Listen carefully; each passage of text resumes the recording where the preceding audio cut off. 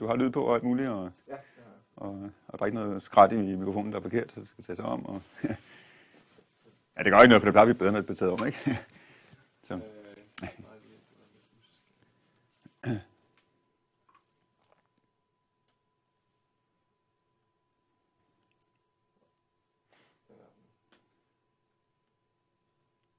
Okay.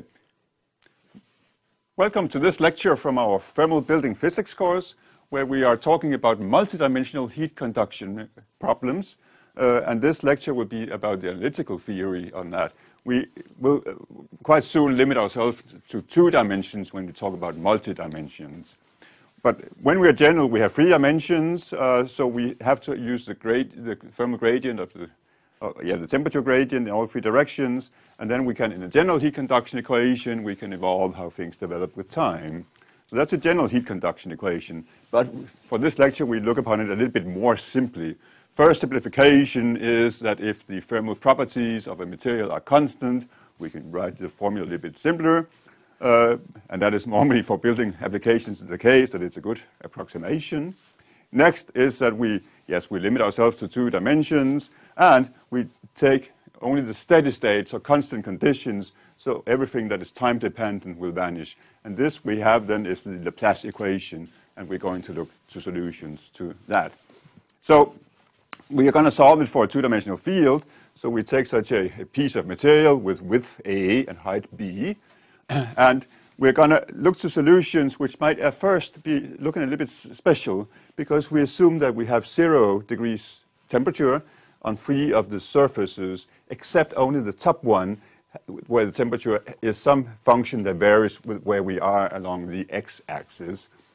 So let's try to see if it's possible to, to make solutions in that case. We use the temperature theta, theta which is uh, a, a, parallel temperature to the real temperature uh, as such. So we have a shift in the temperature by the level T0. So we make an assumption, and this is not something I invented. I have to take it from some textbooks, so I'm really conveying that information because it's a little bit fantastic. We assume that the temperature we're looking for at any point, x and y, in the, in the domain where we're going to calculate it, can be taken to be a product of a function capital X, which depends only on x, multiplied with another function, capital Y, that depends only on the coordinate y. That's just the assumption. Uh, so let's, let's go forward with, with what the clever people from textbooks have written. I'm not going to go through all the mathematical derivations. You can read it here. If you, if you stop the video, you can read the slide more slowly. But I'll just end up to say that after these derivations, we have something which are some partial uh, differential equations. Um, one thing that depends only on x is equal to something that depends only on y. And since x and y are mutually independent, well, then the solution to this could be more or less only if the two things are equal to one another, being equal to a constant. And here we uh, continue assuming that this constant is, is, a positive constant. We take the, the value zeta squared, then it will be positive. And in that case, those differential equations, um, they have they, they, can be written here separately for x and for y as such. And they are quite well-known ordinary differential equations. They have each of them these two solutions here. So here are our solutions to what should it be for the x and the y function as we continue. Now, so uh, the, the solution should be the product of the x function and the, and the y function. So this is what we, how we can write it, inserting the solutions for those functions. But this is, as very often when we solve differential equations, we have some, some constants that we must find, and they can be found, found in a specific case based on the boundary conditions. So that's what we're going to do next. Here we have the, the solution again, and our case that we're talking about. And we see the four boundaries. So let's see if we can use that information to help us to, de to define what should be those constants C1, 2, 3, and 4. And here are the solutions. I'll not go through all of it, but just take one example, for instance, the bottom here, where theta should, theta should be 0. x can be any number between 0 and a, and y is 0. So if we insert that up here, inserting 0 here for y means that the exponential be, would be 1 here and there. So it says C3 plus C4. And whatever is over here, we cannot decide because it depends on x. And we cannot control what that would be in that range. So a solution to, to make sure that theta will be 0 would be to say that C4 and C3 must be equal to each other uh, with a minus in front of them. And then we can continue to develop it a bit more for the other two of uh, three boundary conditions, um, and uh, ending up to say uh, the fourth one, then we have this function of the temperature that could be anything that we would like to insert for that function. I'll just continue working a little bit more on the third boundary condition, because from the previous slide, um, it, it, said uh, something where we sh should have uh, um, insert some, some roots uh, for, for this uh, zeta where it could be equal to n, any number, 1, 2, 3, 4, and so forth, times pi and divided by, by the thermal diffusivity A. Uh, sorry, the, the, width A, I should say. Um, so uh, n can be any number. So we can have one solution or another solution. We can have multiple set of solutions. And any uh, solution and an addition to, with another solution will also be a solution because the Laplace equation is linear, so we can add solutions together. so that means that if we take uh, this, the, uh, the solution from before and um, in, insert this value for, for zeta, well, then this will be our, our, our equation here. And what we have in the bracket here, those exponentials, uh, is here translated to the hyperbolic sine function. And you may recall the definition of the hyperbolic sine function, where you can re recognize some things from up here, except the factor 1 half, or division by 2 here, which is the only difference between when here we have all the, the things that were in the constant an. Uh, the difference between an star and an is simply that number 2, just for explanations. So that means that, uh, that we, we, have something that, that, we can we go forward and solve, except that we have not talked so much about the fourth boundary condition. But to find something that very easily fits in the solution that, that we have, uh, well then, if we have something where the temperature along the top boundary, if it varies with, as a sine function with the x value, well, then we have something that very easily fits to become a solution. Uh, and I'll just draw it over here, uh, if the camera can follow me over here. Uh, if that is our calculation domain, well then if we have such a sine function for the temperature on the top, uh, yeah, topping here, that would be the top temperature, and that should illustrate a sine function as well as I could draw it. That would be a solution that very easily fits into the, this thing here. And then we should insert for A1, we should insert this theta top divided by the hyperbolic sine function as we saw from the equation on the slide just before. And all other coefficients should be zero. But that's because we drew such a sine function here.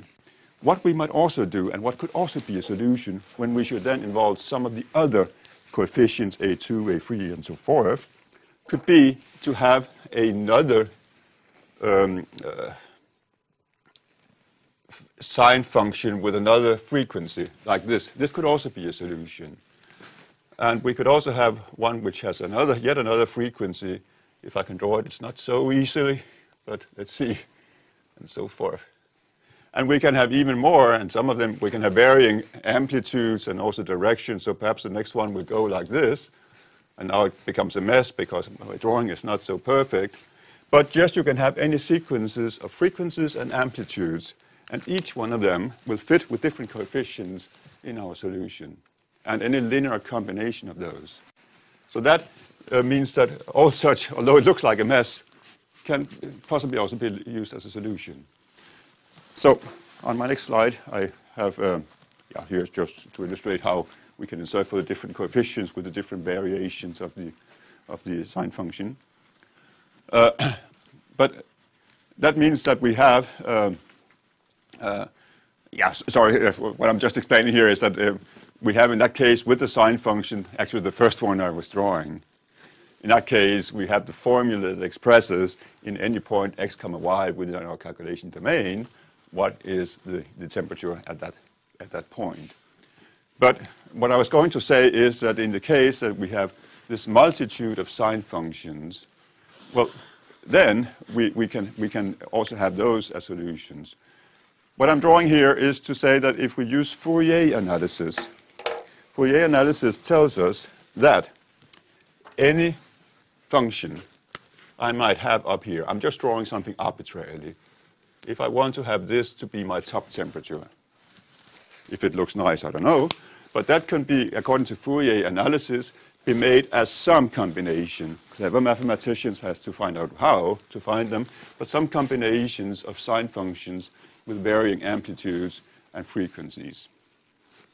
So that was one choice of a blue function.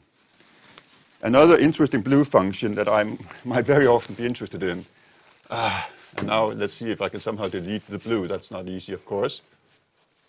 But here I did my best. I hope you can imagine still we have some of all those sine functions. But one function that's interesting us a lot could be if we have a constant top temperature here, up, up here. And even such a function can also be described as a combination of sine functions as such, according to Fourier analysis. And then it becomes interesting. And that we can, in principle, insert in this formula using the Fourier analysis. The solution becomes, in that case, with the constant top temperature, becomes this function here. Well, it's a function, I don't know if your fingers look nice, but I put it in a red frame because it's something if we are careful, then we can rather easily use this function. So to insert a coordinate x and y, then we can find the temperatures according to, to all the other, according to the top temperature also. So in this more interesting case, we have solutions. So is this good for something? Yeah, well, let's see. Actually, uh, we can use this principle of superposition because we have this special condition that we're working with the top temperature. But in general, we would like to have also possibilities to calculate other cases. So how would that look then if, if we do that? So uh, for, for more complex problems, we can use a superposition.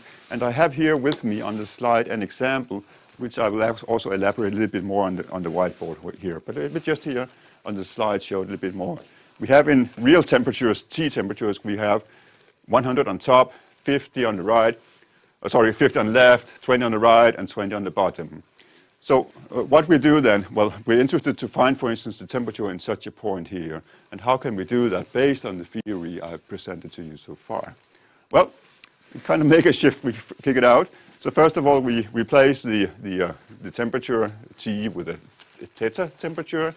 Um, and also, we separate the problem into two problems with the postulate that we can have as a multiplication of solutions from one to solutions from the other well, then we have the, the, total solution for, for the problem we have at case. Um, again, my point is now in, in two, in, in, in, both of the two solutions. So the red point I'm interested in looks here. And here is how I calculate between T temperature and theta temperature just by shifting with a, a, a temperature of 20. So uh, that becomes my solution, uh, but, but how, how then can we work with it still? It doesn't appear so clear, does it? Now I go to the whiteboard over here. I have to erase a little bit here because I want to reuse some of the things I had.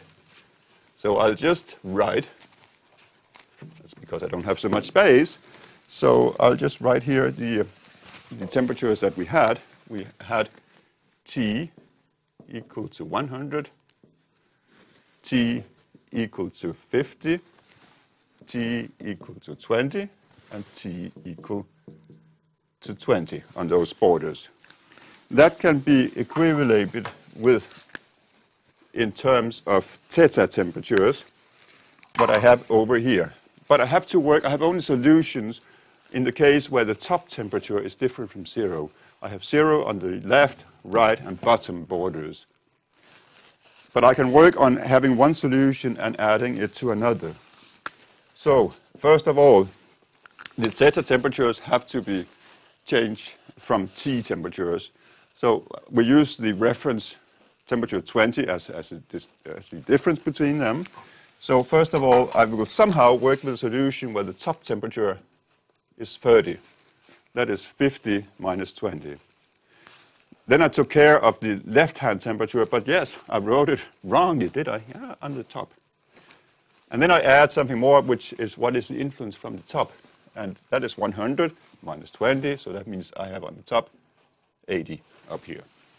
Now what happens to the point? I was interested in this point here. Somewhere here it was located. And when I made the first, when I put the 50 minus 20, I put it on the top, I made a turn of my, of my material. So that means that this point has now been turned and is actually located over here. And then this one, still I'm working with the temperature on the top. That became 100 minus 20, the 80 I have over here. So now the point I'm looking to is still this point here. So if with my formula I showed on some of the previous slides, I can find this temperature in theta units and add to that the temperature over here, then I have my solution for the temperature and I can translate it back to T temperatures by adding 20 if you're interested. I hope that all that makes sense. That completes at least this lecture here, and uh, I hope you enjoyed it. Snip, snap, snoodle. That's all, folks, so I hope you can use it. Good.